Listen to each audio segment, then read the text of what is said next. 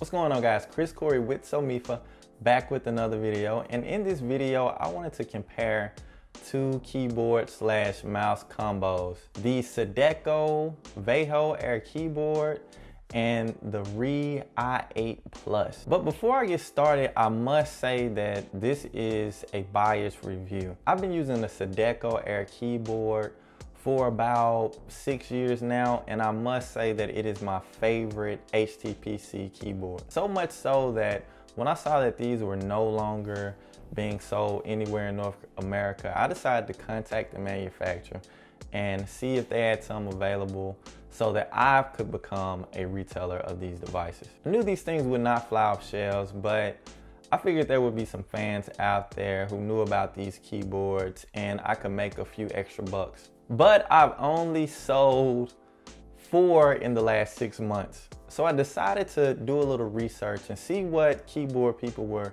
using for their TV connected devices. And after doing some research, it seemed like the Rii i8 Plus was the champ. It had over 2,000 reviews and 4.1 stars on Amazon. So I had to find out what made this thing so special and how does it compare to the Cideko Veho Air keyboard. So I decided to compare the two in four different categories. Design and keyboard, cursor control, battery life, and value. So let's see how the two compare. Design and keyboard. The Cideko Air keyboard has a great design that fits well in your hands and feels solid. The body is hard plastic and the buttons feel like rubber and have a nice click. It is very doable and I still use the one that I bought six years ago and it has many drops. It has all the media keys and some useful keys for opening up your default web browser and calculator. The buttons are spaced nicely which makes it easy to type by feel and not looking down. The only two gripes I have about this keyboard is the missing F keys and it's not backlit. The Rii has both of these features, yet the Rii doesn't feel as quality as the Air keyboard. It is very light and the plastic body does not feel very sturdy. It's a lot thinner and because it doesn't have a natural fit in my hands, I have a little pain after long typing sessions. The buttons are a little bit mushy than clicky, but it does have all the media keys you need. So for keyboard and design, I have to call this one a tie. The Air keyboard has more of a premium feel, but lacks the backlighting and the F keys which the Rii has. Next, cursor control. I use a Windows 10 HTPC and controlling the cursor is very important.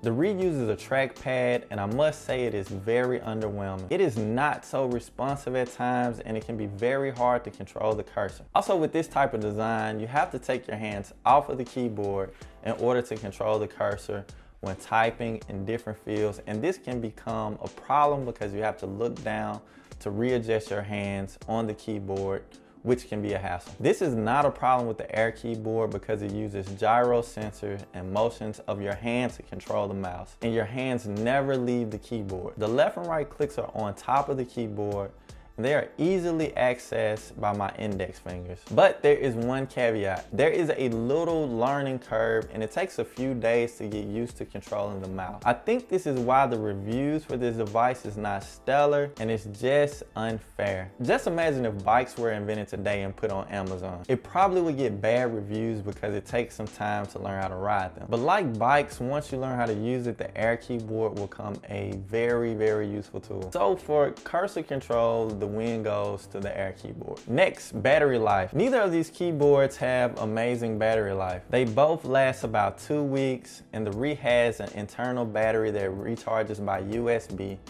and the Air keyboard uses double A batteries. This means I have to remember to always recharge the Rii because once it's dead, I have to use another keyboard while it charges. What if my battery dies for good? This means that I have to buy another one. Did I mention I still use my six-year-old Air keyboard? Yes, I have to replace a lot of batteries and this does drive the cost up. But I do have the peace of mind that I can quickly and easily get it back up and running just by replacing the battery. So this one is a tie. Next, value. I currently price the Air keyboard at $19.99 plus shipping a lot cheaper than the $70 I paid for it in 2012. The Rii is currently priced at $21.95, roughly around the same price. But I feel that the Air keyboard has more of a quality design and will last longer than the cheap built Rii. So I have to give the value win to the Air keyboard. Winning two out of four categories, I have to give the Cideko Air keyboard the win.